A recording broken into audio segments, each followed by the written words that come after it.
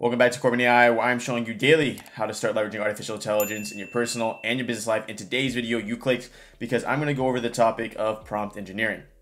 More specifically, I'm going to go over where the value lines when it comes to prompt engineering, as I see there's two main value points in the skill set of prompt engineering, and both are entirely different. One has more of intellectual property value, and one has more of expediting and productivity value. So let's go and jump in both of these. As in today's video, I'm to use my experience and what I've seen in the industry, and kind of give you insight of what prompt. Well, first off, I'll go over what prompt engineering is, and then kind of give you insight of where the value even like is found in prompt engineering because I see it thrown around a lot. Oh, new prompt engineering job or prompt engineering, uh, you know, paid XYZ amount. Let me actually tell you the real applicable value of what prompt engineering is in this new digital market. All right, so to start off, let's go ahead and erase that welcome. And essentially, the way I'm seeing prompt engineering kind of you know flesh out is two main roles. So we got prompt engineering more as a front end UI role, and what I mean by that is the sense of how do you communicate with uh, artificial intelligence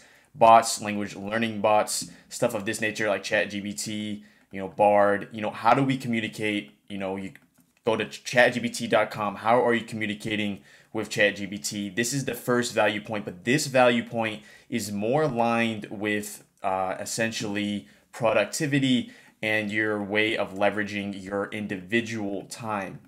There is another layer of prompt engineering, though, that I feel like isn't talked about or isn't really recognized, and that's going to be the intellectual property of prompt engineering. What do I mean by that? Essentially, what I mean by that is how are prompts structured in code, and more specifically, code for you know whatever your SaaS is or whatever the underlying software is um, for you, you know the use case. And what I mean by that essentially is ChatGPT is more of you know communicating. You know, how do I get to an answer faster? How do I structure my answers with ChatGPT? While the IP, the intellectual property that is being found, is more of this sense. So essentially, how am I structuring the prompts inside the underlying code? Now, there's going to be a little bit of discrepancy I want to go over here because I actually found it pretty interesting as we're developing SaaS platforms here. Um, there is actually a difference between how you input a ChatGPT prompt into this kind of model comparative to the front end UI model, and even comparative to using automations platforms like Zapier and using those blocks. Every single one of these uh, different platforms, you actually have to communicate with the ChatGPT model differently, which I thought was very interesting due to the fact that I'm under the impression that if I choose the model of GPT 3.516K and I communicate on the front end, of GPT, you know, just regular chat of chat ChatGPT, and I communicate with Zapier, and then I use it in a backend of code. They should all communicate the same, or I should be able to use the same prompt unilaterally and essentially have no issues. But here's the thing there is issues with it, and that's really interesting. So the idea essentially is this, and you know, this is pretty nuanced.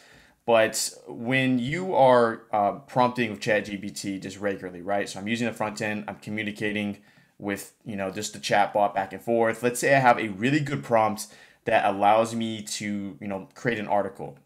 Let's say you know I have very specific prompt layout. Maybe it takes me two different proctors to create said article, and every time that output comes out for that article, I am satisfied with the quality of it, and I can kind of proceed from there. What is interesting and what we have found here is that that exact same prompt structuring that you do over here is not going to be the same over here in order to receive the same quality output um, that is found with this ChatGPT output. When you're actually accessing the API, OpenAI, um, and you're using it in code, the the structuring of the underlying prompt is is a lot different.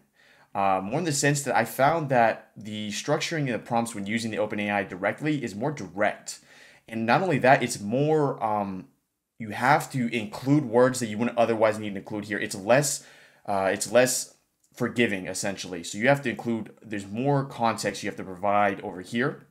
Furthermore, let's say the thought process is in order to achieve this perfect article in the front end UI, it requires three different prompt structurings. This is going to require either more or even more effective prompts because of the fact that in this context over here, unless you build out something really advanced over here, you have pre-contextual uh, outputs in order to understand the, the further output. Now, it's possible over here as well. It just requires a lot more back-end work, and therefore the directive of essentially working in the front-end UI, the goal is um, the goal in front-end UI is I could you know, talk to it 10 different times or send in 10 different prompts that I pre-structured and I get my output every single time. That's fine.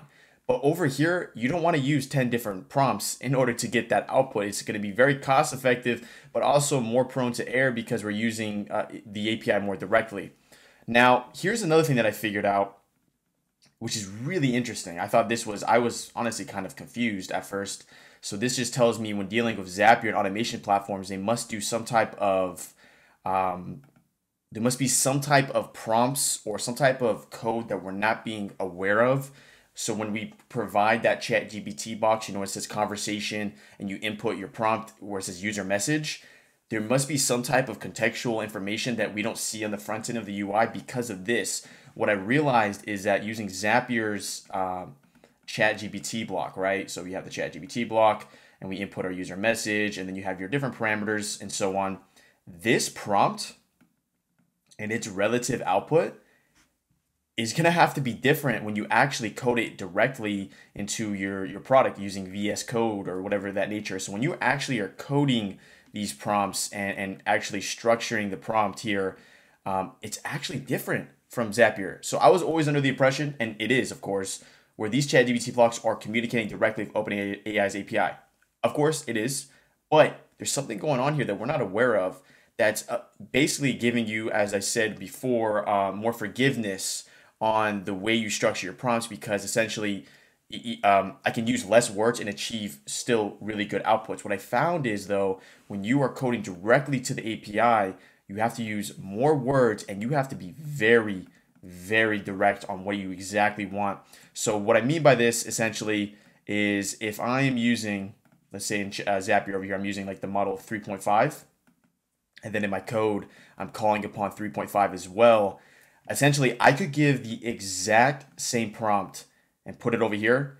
And it isn't like a slight differentiation in output where it's like uh, maybe a couple words are different, maybe the structure is a little bit different. No, no, this is like two different worlds. So it's like, you know, uh, output A, output B, even though it's the same exact prompt and I'm using the ex- same exact model. Interesting, right? So something's obviously going on here, and I don't blame them. They actually made on these automation platforms, they probably made it easier where actually they're more forgiving on your prompts here, where you don't have to provide as much uh, you know information in your underlying prompt because they must do something in the back end of the structuring in order to you know give you more laxed ability. So your prompts don't have to be perfect here, but you still get reliable outputs. Over here, you have to be on point and you have to give every single thing you want. And one thing that I found, which is a huge difference between these two that I have changed a lot, is the temperature. So if you're not aware of what temperature is in the context of OpenAI's API, just in general, temperature is essentially the creativity barometer that we provide uh, the OpenAI model. So if I have a high temperature or I input like positive two, uh, essentially that means for the model, you can go very creative and your outputs can get like, you know, sporadic. If you go to negative two, this is when, or, you know, two or negative two, this is when we are like, no, do exactly what we tell you and make sure it is consistent. And what I found is, which is interesting, is that the temperature over here in Zapier wasn't too fundamental. You could keep this at a 1.0 and still get very, very reliable outputs. What I found over here though was the temperature is actually very important. Uh, more important in this kind of structuring than you know was I deemed important over here. So you know, it's like really learning the new information. So like having low temperature is actually very fundamental in order to ensure consistent outputs. So what I mean by that, just to give you a little bit more context here, is if I scroll down here, there should be a level here where I'm talking about temperature. Okay, so I found it over here. I went ahead and you have to go a little bit further in the documentation. And as you see here, this is where temperature is found here, where essentially you can even read it yourself. This is pretty key here. And, you know, if you're doing temperature, don't do top P. If you're doing top P, don't do temperature. But, you know, you can kind of see it. Uh, they don't have it in this example here, but this is the output. But uh, essentially, temperature is key in identifying within the prompts that you're using here. You can change your models and stuff of this nature. But that's huge. And, I found that is way more important than what it was relative to Zapier which as I keep, you know, hammering in, it just tells me that something's going on in Zapier's backend that we're not seeing, which is fine. Um, just tells me that they did some type of proctoring, they did some type of fine tuning where essentially it's actually easier to make prompts in Zapier than it is over here, which is good. As you know, end of the day, it's a front end UI. You want to make it as easy as possible. But man, communicating directly with the API, you really there is a bunch of more nuance comparative to communicating with it as a front-end ChatGPT or communicating it with as an automation software. That being said, there is the the the golden goose that laid the egg, or the egg, the golden goose laid. You've probably seen that Key and Peele skit. I think you know what I'm talking about, or just the saying of the the, uh, the goose that lays the golden egg, right? That being said, this entire situation here where you're communicating directly with the API and kind of just tying it back to the original premises of this video of prompt engineering, as everything I just described there is prompt engineering, um, just at different stages. So maybe the chat GPT direct communication is more productivity time. Let me get my answer fast. Let me, you know, let me do something faster. Let me learn faster. Zapier, let me uh, build out a, uh, an automation for my business and use a easier way to communicate to the OpenAI's API and, you know, some prompt engineering there. The last stage there essentially of course is communicating directly within your code and within your backend and using cloud functions and stuff of this nature. But the goose that laid the golden egg is going to be communicating with the api directly. And here's what i've discovered and here is the value. Basically this is out, of all those those two are very valuable and at a personal level at a personal level slightly business level because obviously you can communicate it with your business communicating with the api directly is valuable tremendously. And and the reason I say this is because essentially when you build out an artificial artificial intelligence integrated SaaS, the SaaS itself, you know, software as, as a service, I would say around 80% could have already been coded uh, without the AI.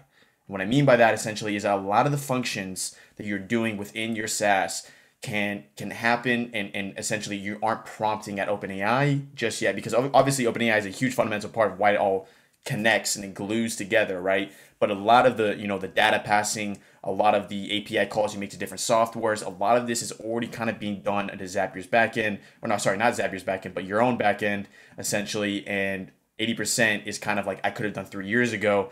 But the reason I'm even doing it now is because I need that 20% to make it all stick together, right? what I discovered is 80% it can already be done, right? Without uh, prompting OpenAI. And then obviously the other the other 20%, which is that prompting OpenAI, which is basically the glue that makes all of this even work because the whole point of integrating an AI is to manipulate the data, change the data, format the data, whatever it may be, um, is the glue. But that glue is expensive. And what I mean by that is obviously if you prompt it yourself, it's not that expensive.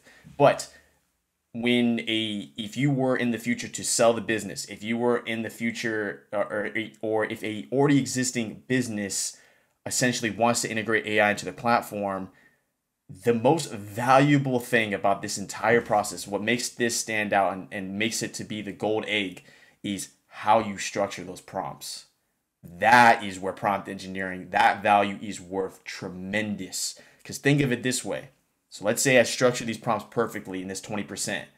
Because I structured these prompts perfectly in that 20%, essentially it's software, it's automatic, right? Data communicating with each other. So it's all automatic. You know, once you set it up, you kind of you could I could go to Bali and just chill on the beach. That's why software is an amazing market to enter.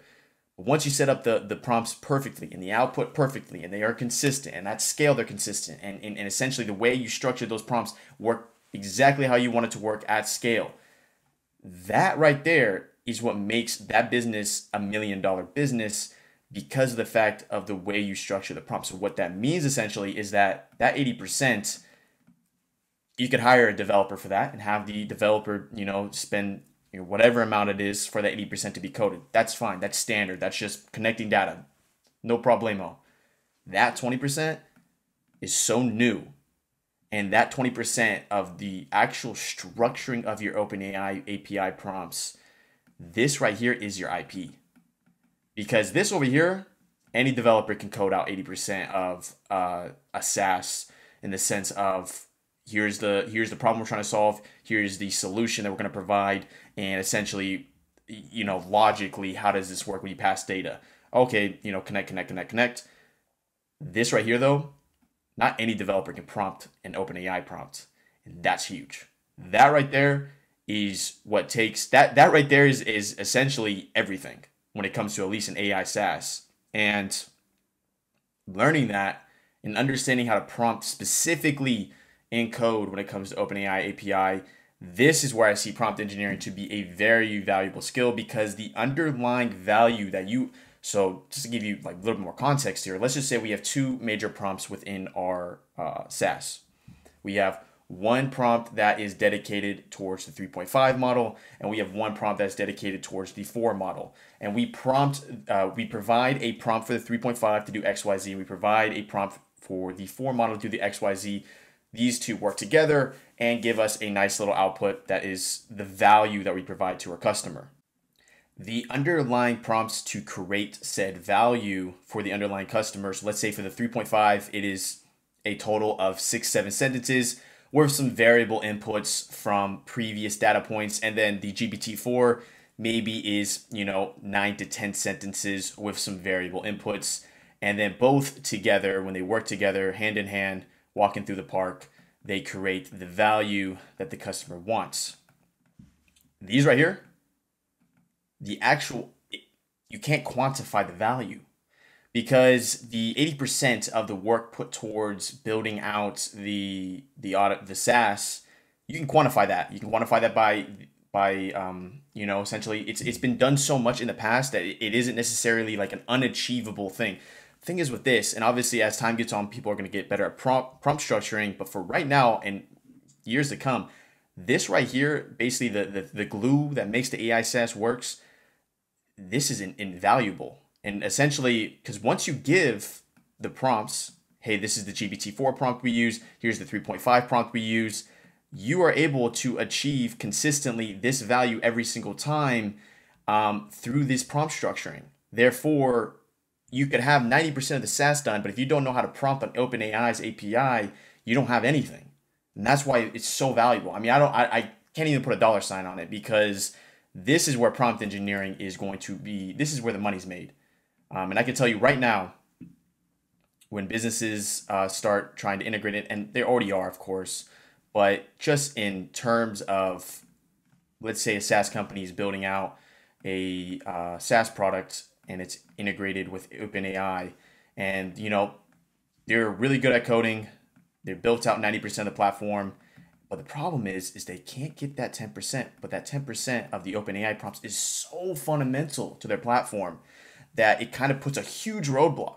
Therefore, if you're telling me that basically the only thing stopping from that SaaS company from launching is just getting is just hiring or paying someone to build out the API prompts that are required to make this function, oh, they will pay a big, big, big price for that. So, so I kind of want to make this video real quick because it's a lot more nuanced than what I've seen on the internet, and honestly, this is just a new industry. Um, I just found it super interesting that chat, the way you talk to Chat GPT, the way you talk to Zapier and then the way you talk to it directly within the code, they're all different. It's like talking to different people. Um, each one requires a, you know, maybe different people, but a little bit of different personalities, right? Each one requires a different level of um, experience to know how to proctor each each one. But out of all three of them, of course, ChatGPT provides value in the sense of time and productivity and education. Uh, Zapier, you know, saving you time again, automating stuff, and you know communicating at an easier level. But the the real one, the one that's gonna send you, you know, hit a home run, it's that it's that OpenAI direct communication with the API. That's the little the actual IP intellectual property value you're creating with the prompts. That right there, that's where the prompt engineering money is going to be made because those prompts, if you know how to effectively communicate and structure prompts for backends of companies, oh my gosh. I mean, that's just, that that's the gold. Make sure to leave a like if you felt value in today's video. I'm to leave a playlist at the end here where essentially it's more talks like this and quite recently a lot more talks on this topic because it's so new and, and you know really entering a new market. But without further ado, I'll see you in the next video. Thanks for tuning in. And yes, surprise, I'm an AI avatar. Make sure to explore more here at Corbin AI, where we demystify AI for your personal and business life. Until next time.